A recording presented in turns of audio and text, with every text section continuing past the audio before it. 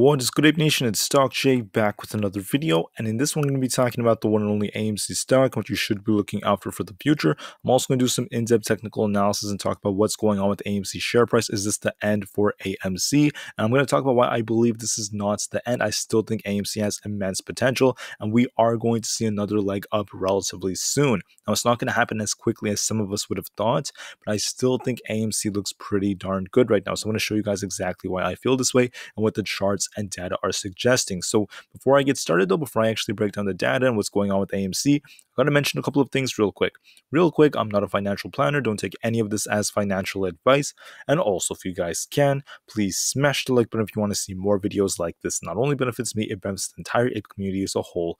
And the last things, if you guys can, please check out the Moomoo link down below in the description. If you sign up for Moomoo, the link down below, deposit $100 into the account, you're guaranteed 10 free stocks, each worth up to $2,500. And you could always sell these 10 free stocks for cash and use that cash to buy some AMC shares for free.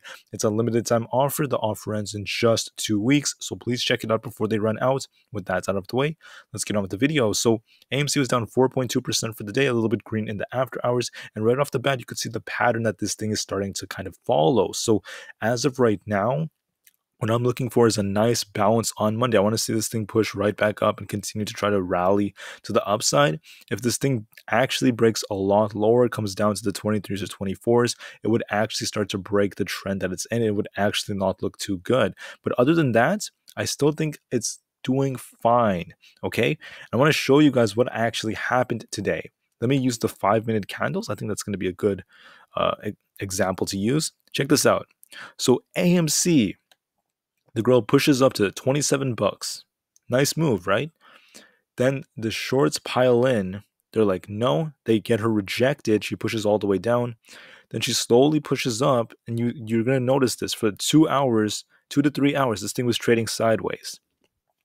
She was trying to break past 26, and she held above it for some time. Then she'd go below it, and then what happened was they rug pulled us.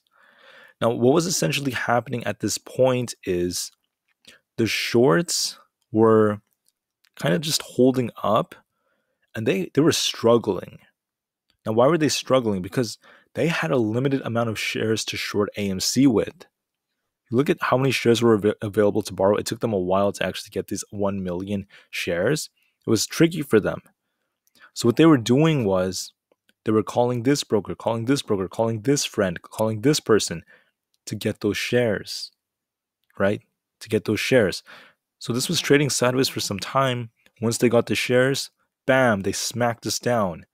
And they were so desperate to push this thing down because it was actually hurting them. The shorts get destroyed if AMC goes above 23 bucks. And what else is interesting is when you look at the options chain, this thing had at 90,000 calls in the money and it went down to 50,000. They were just hammering the 26s, the 25s, the 24.5s. That was essentially what their goal was the 24.5s. And they got us right below 24.5. But we're still well above max pain. So, very interesting price action. So, is this the end? The answer is no.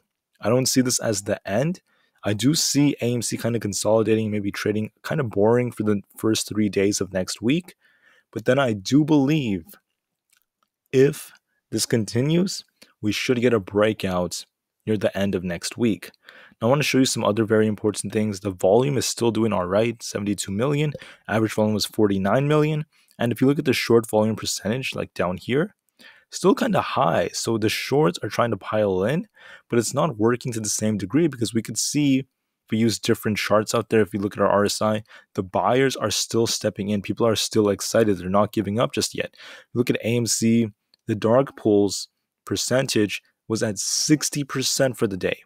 So the shorts, they redirected almost 60%, maybe more than that if you count the entire data. This is just from the data we have. 60% of trades on dark pools. That was a big spike compared to yesterday, which was at like 54%. They're doing this because they were trying to keep this thing down. And it's actually pretty hard to keep this thing down when there's so much buying pressure. And they've been doing it for so darn long. So what I'm essentially seeing from this point is if we look at other technical indicators out there, let me just pull up many of the other ones. Look at our OBV. There's not much selling that's going on. The large majority of people are still holding. And what we could see is the buyers are still stepping in at a good phase. Look at the weekly, you could see the RSI is still picking up. It's still picking up steam. It has more room to go up. It doesn't look like it's done at all right now.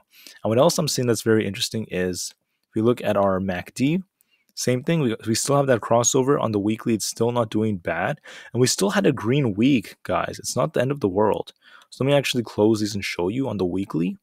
So AMC was just trading sideways, not doing too well back here when it was at nine bucks.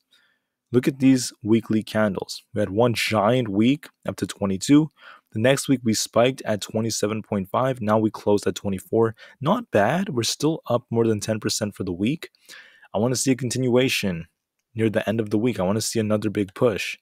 Because remember, for some of these runs, we would have like one very big week and then another small week. Well, what I'm seeing is it doesn't have to be like other runs. This could just take many weeks to really play out since we are in anticipation of the whole ape dividend. And it's already going to be past the last record date for people to get those dividends. So what I'm seeing from here is now we're in that time frame between now and the time the dividend comes out, which is going to be the 19th of August during market uh, after market close. This means that August 22nd is going to be the first day that you could actually trade those apes. And that's where things could become very interesting. So I wouldn't be surprised if we actually get some more nice price action still leading up to it. I don't think we're just going to tumble right down. And I think that we're going to respect this trend line right here. I think this is what AMC is bound to do. When it comes to specifics, I just think that the next few days might be kind of boring. She could make another big move up, then a big drop, another move up, and we might just slowly kind of consolidate in this range, and we should get a breakout. It's looking like around Thursday or Friday. That's when it could end up coming. Maybe if that's the case, it should push up very hard because some of these shorts may be incentivized to start covering. Are all of them going to cover? No, but some likely will, right? And they're doing this because they know this ape dividend could put them in a mess. So to be safe, they may want to hide what they've been doing because what they're doing could get exposed quite soon thanks to what Adam Aron is doing. So keep your heads up. Don't you dare let them get into your heads. We're still at 24 bucks. I mean, we were back near the end, or I'm sorry, the very beginning of August, we were at 14 bucks. We were at, you know, much lower values. We were at 17 bucks around the 5th of August. If we time travel back, just a couple days ago, we were touching $20 flat on the 10th of August. $20. We're at 24 right now. So we're still doing all right. I think the problem is people had this big expectation that this thing was about to explode. And yeah, it looked like it was going to from a technical standpoint, but that's not what we got. They ended up just causing the rejection. They're very angry. But hey, we've been through this. We've been through this. We cannot give up just yet. We have to remain calm, cool, and collected and be patient. AMC is not that far from 30 bucks right now. And it is possible for us for us to get there within the next two weeks, in my opinion. So I'm still bullish. I still think AMC is holding up still pretty well. I mean, this was this wasn't like a you know 10% negative day or negative 8% or negative 12. They, they only got us down like 4%. All right. So let's hold up. Let's remain calm, cool, and collected. You know, get ready for next week. I think things are going to be just fine. And I really believe Something big is in the works. It's not going to happen overnight. You got to be patient, but we cannot give up because if we give up, that's going to be the end. And to achieve anything great in life, anything, it's going to require struggle, it's going to require hardships. And we've been through everything with this stock. We're not quitting. And I really am confident that the apes refuse to give up because we know we have a big advantage in display. Anyways, thank you all for listening. Please have a great rest of the day. And I'll most definitely see you guys in the next video. Uh, AMC to the moon because the long term future is bright. And peace out.